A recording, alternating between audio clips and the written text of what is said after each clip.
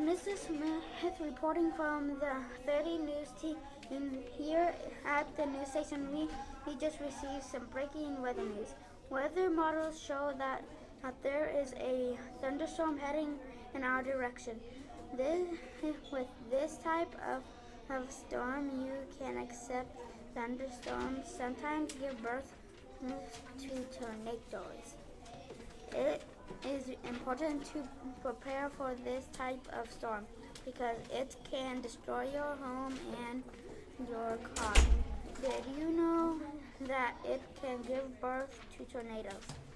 Also, thunder uh, is the sound of lightning.